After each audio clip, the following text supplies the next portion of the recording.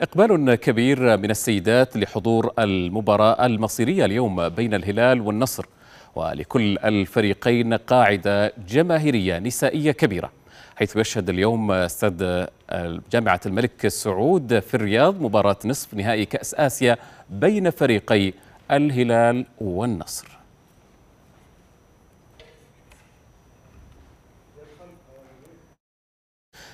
نتحدث أكثر عن القاعدة الجماهيرية وأيضا تفاعل تفاعل الجماهير من فئة النساء مع هذه المباراة مع ضيفتنا عبر الهاتف الكاتبة والأخصائية الاجتماعية الأستاذة رقية الهويريني. أهلا بك أستاذة رقية مساء الخير. هلا حياك الله. أهلا بك. إذا هناك قاعدة جماهيرية نسائية كبيرة لكلا الفريقين وهناك استعداد لحضور هذه المباراة. كيف تنظرين إلى تأثير هذه القاعدة أو تأثير المباراة على يعني الجماهير من النساء؟ الحقيقة أن الرياضة بالذات كرة القدم تعتبر يعني مشهد حضاري. كل الشعوب تشترك في حبها والسعي لنيل الكأس أو بالذات في النهائيات.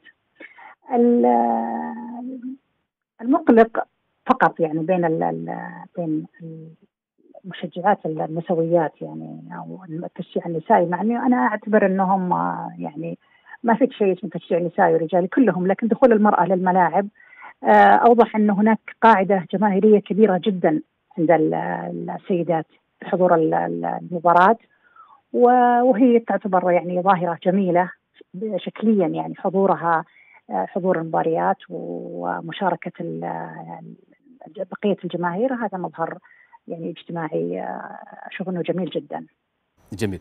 كيف تشوفين تفاعل المجتمع مع هذه المباراة بشكل عام وتأثير أيضا التعصب أثناء مثل هذه المباريات الكبيرة؟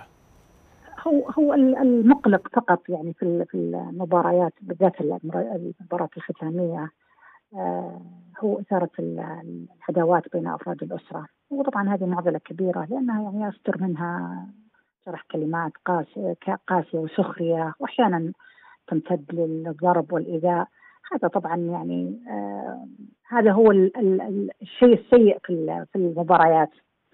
آه الأسرة بالذات وهذا اللي يهمني أنا في الموضوع يعني لابد أن تكون الأسرة آه يعني على مستوى راقي في التعامل مع وجود منافسين من يعني على بحيث إنه يكون جزء منهم يشجع فريق والجزء الآخر أو واحد منهم أو كذا.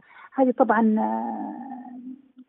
تؤثر في النفس خصوصا لما يكون فيها طقطقة وفيها سخرية وفيها استهزاء وفيها هذه الأشياء هذه تفقد المباراة لذتها.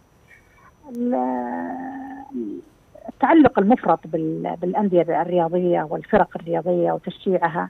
ترى ما هو فقط وصل للكبار هو حقيقة حتى وصل للأطفال. وربما ممكن تشوف الآن لما نهاية المباريات يطلعون الأطفال إما أنهم مبتهجين لابسين نفس لون الفريق أو, أو أنهم يبكون و تحس أنهم متأذين جدا من الخسارة والهزيمة.